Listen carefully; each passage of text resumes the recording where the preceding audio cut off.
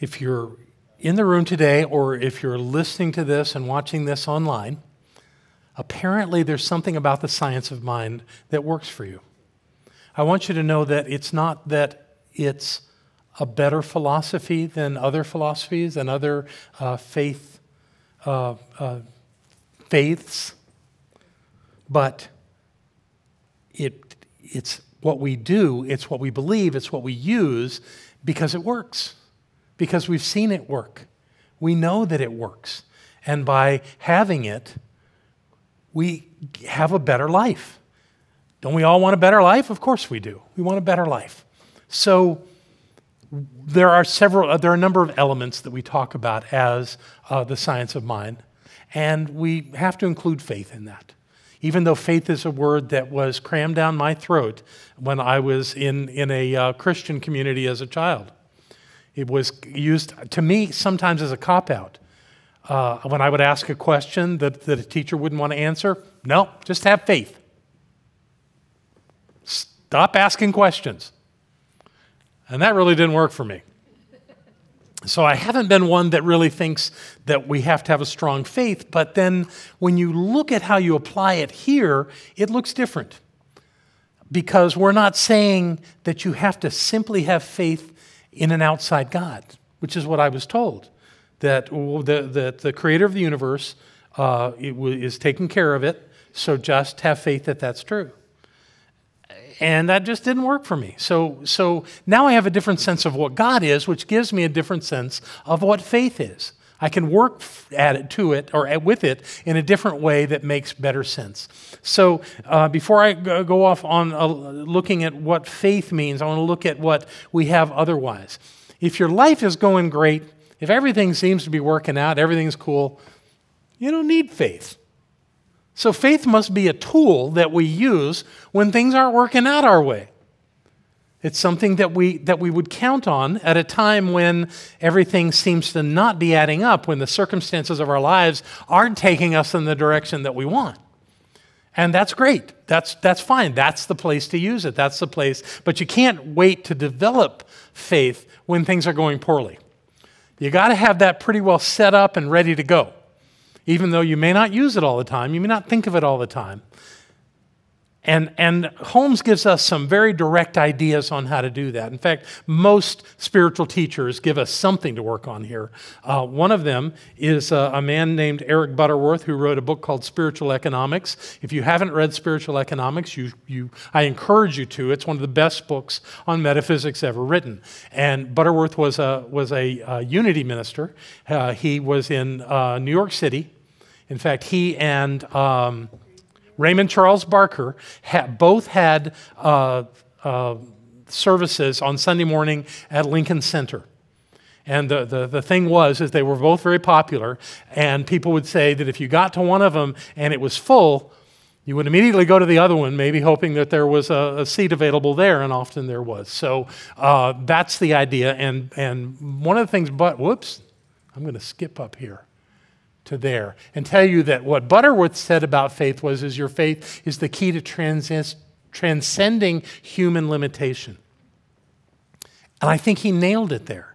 I think that's what it is. It's, it's this idea that we have limited thoughts. We have limited ideas about how life works. But when you incorporate something more mystical, something more uh, absolute in the sense of faith, you get a different result. You get a different outcome. Now, that doesn't mean that we have to go looking for something outside of ourselves because everything we're looking for is already at the point of us. It's already here, it's already real, it's already happening. So, all we have to do is get clear about that, and then we can come to a place of having that work out in our lives and have, by having the, a faith that, that is functional. Faith has to be functional, it can't just be theoretical. It's practical in the sense that in the sense that it, it is something that we can use. So here's what Holmes said. One of the three, I have three major quotes from him, and they're big because he wrote a lot about it. But I think he, he did some good work right here. If we have faith in ourselves, in humanity, in the universe, and in God, that faith will light that place in which we find ourselves. And by the light of this faith, we will be able to see that all is God. And the light shed on this faith will light the way for others. We become conscious of darkness only when we are without faith. For faith is ever the light of our day and the light of our way, making that way clearly visible to us, even when to all others it may be inundated with obstacles. So if you don't have faith, your life can be inundated with obstacles. Anybody want to argue that point? Isn't it true that if you don't have some structure to base how you see life working, you're going to end up with this, this thing of life is hard, that life keeps hammering me. Uh, I, I, had a, a dear friend for many years, still a friend, but not, not, not around much in my life anymore, who used to say, I got up every morning expecting life to mess with me. He didn't use the word mess, but that's what he meant. And if you don't have a faith in how your life, and Holmes says in humanity, in ourselves, in humanity, in the universe, and in God, he's not saying go find an outside God and have faith in that, hoping that that outside God will solve your problems, but have a faith that all this stuff works together and it's all working all the time. If you have that faith, then you're going to have an outcome that's going to work for you. And if you have a condition that shows up in your life otherwise, at least you have a way to address it by knowing there's something greater going on. And it's not going on over there, it's going on right where you are, right where I am. That's the only place it matters. Because what's going on out there isn't having the same impact as what's going on right here, ever in our lives. So the truth is that we must work from that place to create the life that we want. And if we do, then what we've set down in all of that are the limitations that we have picked up somewhere. Of course, this is rigorous work. This isn't uh, uh, something that just comes naturally.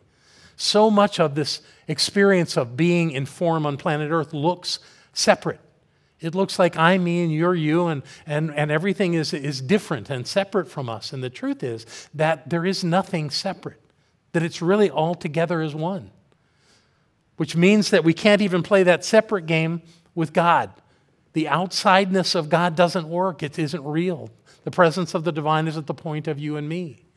It always has been, it always will be. But when we forget it, it becomes useless for us. It doesn't help us if we don't know it, if we're not living from it, if we're not seeing life that way. And as much as we talk about oneness in this place, I still believe that there are lots of people that call themselves students of the science of mind or metaphysicians or whatever other name you want to give it that believe in dualism that live from that place of dualism. I gave a talk at, at, at the International New Thought Alliance uh, annual Congress one year, and I just, I got up there and just laid out this oneness thing about how there is no separation, this, this thing that we have that helps us make, make sense of the physical world is more of the illusion than the, the, the truth of oneness, that that's a true reality. And I gave it to him. And bless his heart, the guy that come up and did, did the prayer right after me, come up. The guy that came up on the stage after me went into a totally dualistic uh, uh, prayer, talking to an outside God. And I just shook my head. so I know there are lots of folks that still struggle with this. You know, there are times when I do. I don't want you to believe that I've got this thing all figured out and, and use it every second of every day. It's not true. The truth is, is that it's a constant reminder of how life is supposed to work. And from that constant reminder, we get to a place that lets us know that this is the, the higher truth. And it's really the place where we can change things. If we play in that world of, of, dualism, of oneness, uh, uh or not of, of, oneness, of not having oneness, if we play in a world, as Barbara calls it, Tunis, although that's a city in Africa, uh, I, I, no, it's a country in, in Africa. The city is Tunisia. So, I, but I, I, yeah, yeah, yeah. Did I get it backwards? Okay, great. Thank, thank you for your geography help there. I really needed that. Okay, so the, the, the, the point that I want to make is that we have to continue again and again and again to focus on this idea of the, there really being only one thing going on.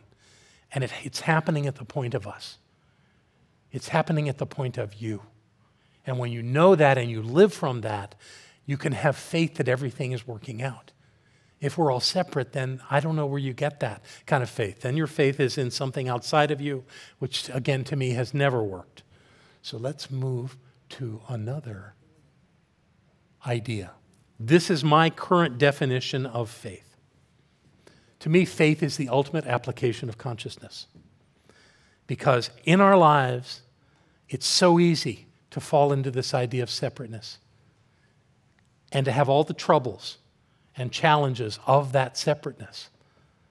But when we remember the truth of who we are, I think that gives us truly the opportunity to move beyond that limiting thought that somehow things are happening to us and that we're in trouble. Now, this thing that's happening with Barbara is, is uh, uh, playing a big role in my life, and I'm sure it is in everybody's life. Now that last week I uh, shared uh, the conditions of what she was going through, it's of course out there in the world, and people are, are sharing that information. I have no idea how they're sharing it, and I don't want to make anybody wrong, but I, I do know that I'm getting emails from people uh, about this, and there's, an, there's an, an energy in it of sadness and of sorrow. And that's not helping. That's not helping me. It's not helping Barbara.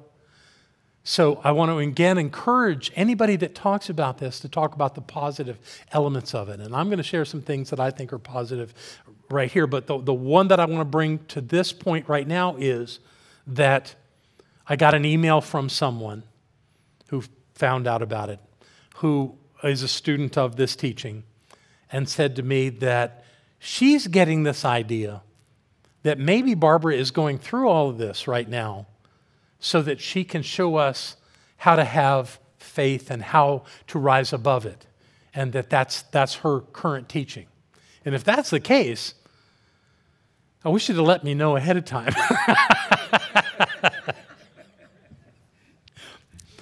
but I can go with that because I find that Barbara's one of the most powerful people I've ever known.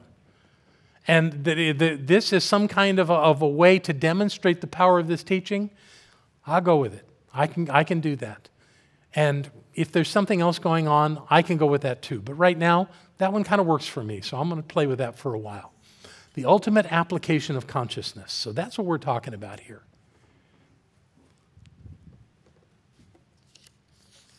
And I'm going to take a moment just to make sure where I am. In the science of mind, that says, uh, it says, rather than having faith in God, we should have faith the faith of God. This is a very popular line in our teaching. Rather than having faith in God, have a faith of God. Have the faith of God. I want to talk about that for a minute. It was, it was the quote that I, we put up at the beginning of the celebration, and I was confused by that when I first heard it. How do you have the faith of God? Why would God need faith? Well, immediately I'm thinking outside of, uh, uh, I'm thinking of an outside God that's all powerful and all knowing, but that uh, doesn't need to do what I do. Mm-mm. It's all the same thing. So, having what I've come to with this is that having the faith of God simply means that we're clear about who we are, that we're clear about how life works. We understand the law of spirit, and we use that law. There is no difference between being uh, having faith and having fear. They both worked exactly the same way. That if you have a thought that something isn't working, that's what you're demonstrating into your life. If you have a thought that something is working, that demonstrates in your life. It does it exactly the same way. So, really, this idea of faith is simply an advanced tool for getting you to the place you want to be as opposed to the place you don't want to be. The law doesn't change between faith and fear, it doesn't change between faith and uncertainty. It's the same law, it applies the same way. The question is what are you thinking? What are you putting your attention on? What do you believe is so? What do you know? From any of those angles, what you've got is either something that limits you or something, something that frees you. Faith is freeing. Faith allows us to have the life that we want to have. Without it, what are we going to do? How are we going to go there? Here's another one from, from Holmes. In order to have faith, you must have a conviction that all is well. What I just said. In order to keep faith, we must allow nothing that will weaken this conviction. Faith is built up from belief, acceptance, and trust. So, belief, acceptance, and trust. Belief, acceptance, and trust. So, I must believe the highest reality I possibly can.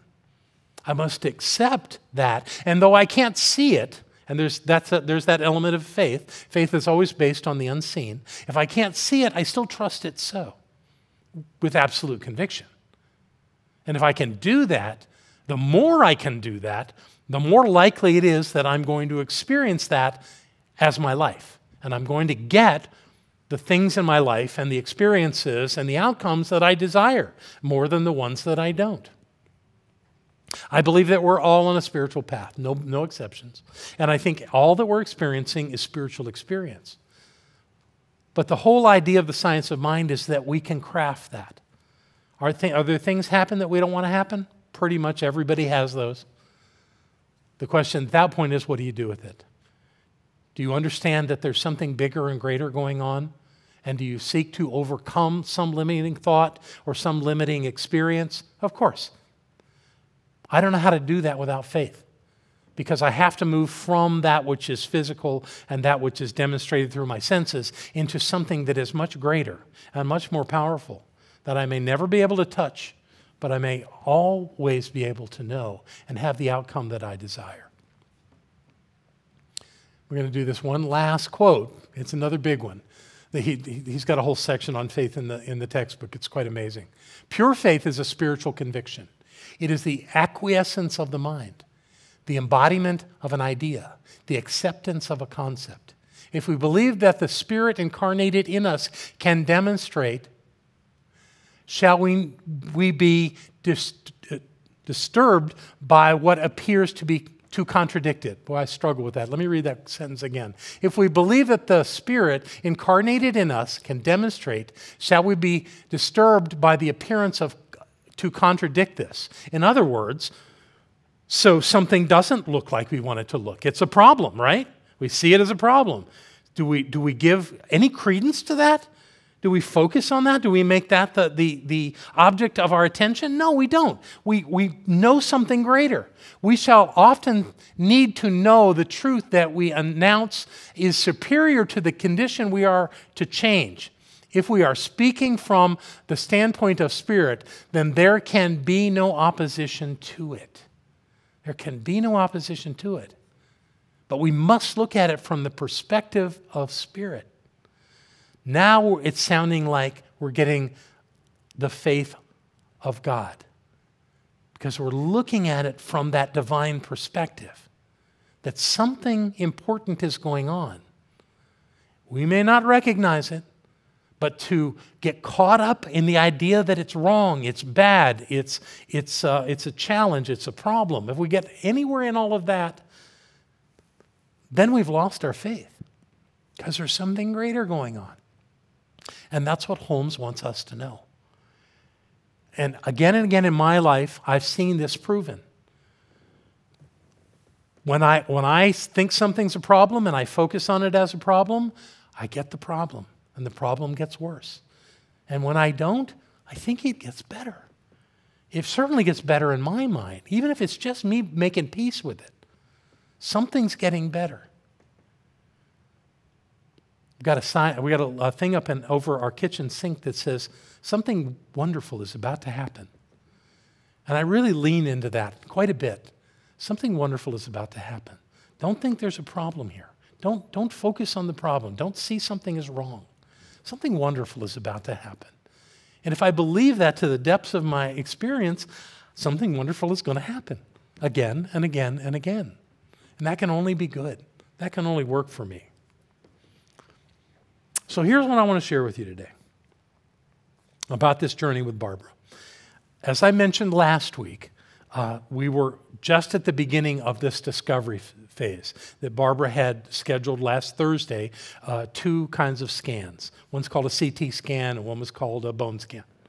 And uh, we went down to uh, the Pardee Hospital, uh, which is in the county south of us, and, uh, and they did those scans last Thursday. And on Friday, we met with uh, our daughter-in-law's best friend, friend from college, uh, the, a woman that was a bridesmaid at her wedding. I did the wedding. Barbara played uh, mother of the groom, and uh, um, someone we, we had known 20 years ago, but uh, still had a relationship with. So we went to the center where she works, and, and we discovered the responses to uh, these, these scans. And the first thing she said was, we found no apparent cancers beyond the tumor that Barbara has. However, because they always got a however, uh, there were some abnormalities uh, in her body, one uh, in her clavicle and one in her femur. And we're, uh, we, we can't tell from this what, what that is. So we want to do what's called a PET scan. Another scan, another place, do another scan. And I, uh, okay, we'll go do, do another one, and that's scheduled. Barbara's going to do it tomorrow. And then there was more information.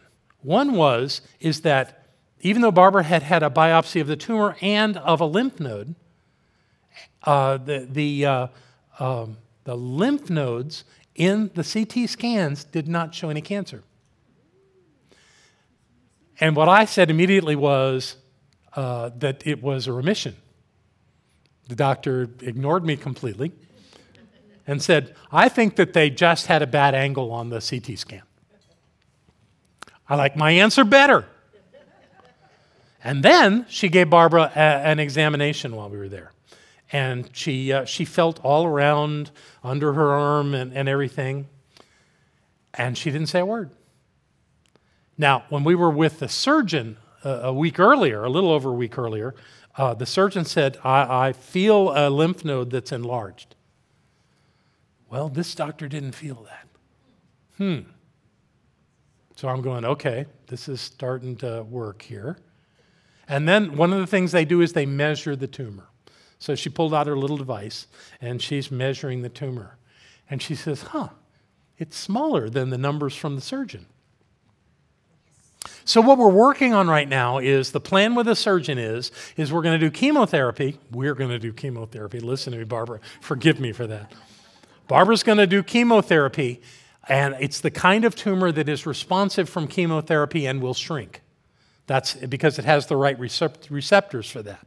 So the, the, surgeon said if it shrinks to half its size, we can take it out uh, with a process called lumpectomy rather than a mastectomy, which would be a removal of, a, a much more larger area. So uh, uh, she measured it, it was, it was smaller. Then we started talking about how we're doing chemo and uh, I've reported all this to our practitioners and to a select number of ministers that are close to us, uh, some of which have gone through uh, similar bouts with cancer and come out the other side whole. And that's our plan right now. And I got to tell you how deeply grateful I am to our practitioners for the consciousness that they're bringing to this. They are, are, they are defiant in knowing that, that Barbara is healthy. They are accepting nothing less, which to me means that they're playing the role of God. They're saying, I speak with the voice of the divine, and I know the truth. And this one, Barbara Waterhouse, is healthy and whole. God bless them for that. That's what we teach. That's what we believe. And this may be the way that Barbara is teaching the whole world this great lesson about how the science of mind works. So hold those thoughts. And if you tell somebody about what's going on with Barbara, which you have the absolute right to do, tell them the whole story. Tell them that she's making amazing progress, even before they start the uh, therapies. We have started our work. We are doing that work. We are clear, and we have a great faith. We have the faith of God that this is working out in our favor, and all is well. I love you. Thank you.